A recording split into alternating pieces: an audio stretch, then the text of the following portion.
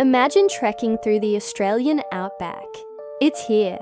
Scientists found a spider so incredibly rare, it's only ever been seen once. Say hello to the bone dry trapdoor spider, a species known from just a single specimen, collected almost 90 years ago. This isn't your average spider. It built intricate burrows in some of the harshest, driest soil imaginable. How did it survive the scorching heat?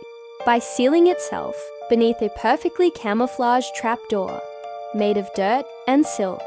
But after that initial discovery, it completely vanished. For nearly a century, scientists have searched.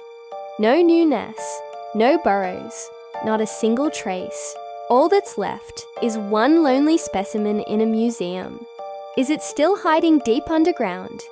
Or did it go extinct before we ever really knew it?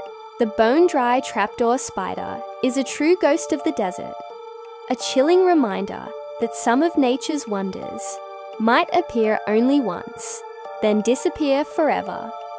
If you love uncovering hidden stories about our planet, be sure to subscribe for more. Thanks for watching.